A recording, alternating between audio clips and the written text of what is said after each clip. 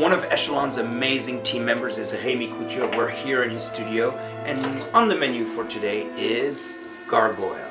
Let's see what'll happen next. Okay, so now it's time to uh, apply the uh, silicone prosthetic.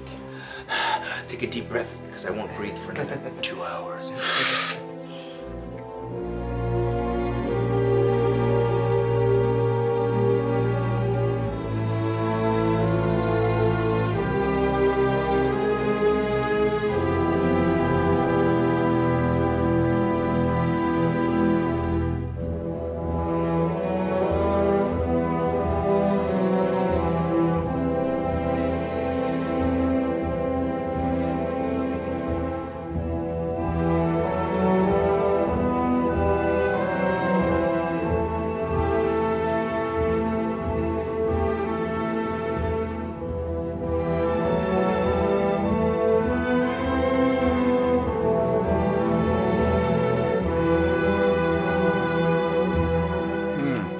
It's got a, a taste like a turpentine meets floor wax. Very delicious. Highly recommended. With a soupçon of um, rosé. Wonderful.